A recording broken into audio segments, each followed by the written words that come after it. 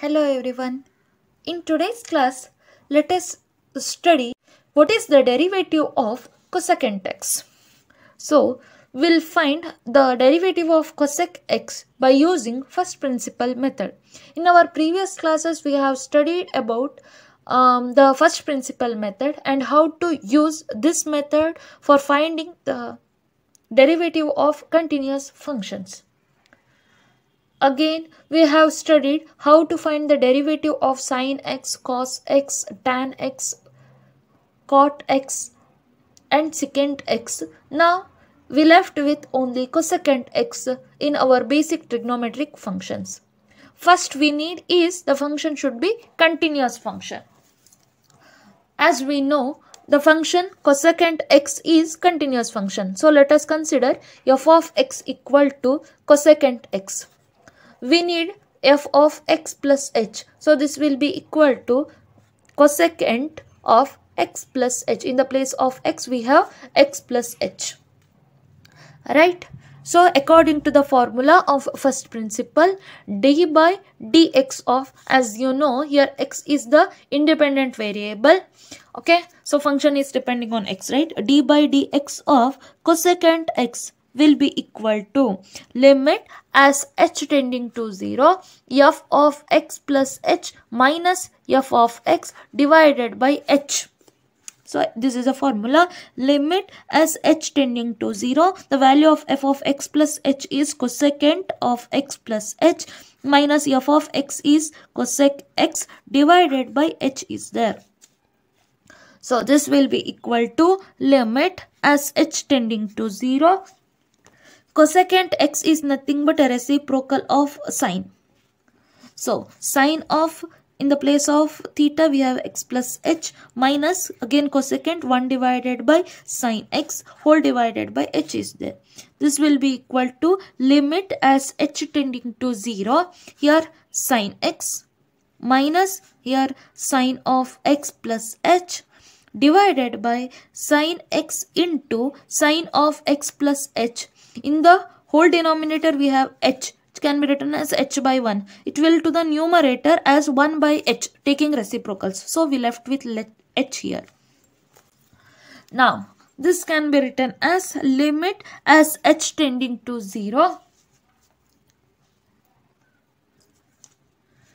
sine A minus sine B is there. Sine A minus sine B is nothing but 2 cos a plus b by 2 into sine a minus b by 2. So 2 cos in the place of a we have x in the place of b, have, b we have x plus h. 2 cos a plus b. So x plus x plus h by 2 is there into sine a minus b by 2. Again x minus x plus h divided by 2. 2 cos a plus b by 2 into sine a minus b by 2 whole divided by the term h into sine of x into sine x plus h is there as it is I am keeping. Now this will be equal to limit as h tending to 0 okay 2 times cos of x plus x 2x plus h divided by 2 is there into sine of x x can be cancelled we left with minus into plus minus h divided by 2 whole divided by 2 times sine x into sine of x plus h. This is equal to limit as h tending to 0. Here 2 cos 2x plus h by 2 into sine of plus into minus minus h by 2 divided by h into sine x into sine of x plus h. Here we have h by 2. So, I will do h by 2 here into 2. Okay, now we can combine these two because sine of minus theta is nothing but minus sine theta. So we can write this as limit as h tending to 0 to cos 2x plus h by 2 into sine of h by 2 here minus sign outside divided by 2 times h by 2 sine x into sine of x plus h. So here 2 and 2 get cancels and this h by 2, this h by sine h by 2 we can we need to combine. So as you know limit as theta tending to 0 sine theta divided by theta will the value 1. So we need to combine with h tending to 0. Whenever h tending to 0, h by 2 will also tending to 0. So no need to take problem for this. So this will be equal to whenever applying the limit cos of x plus h.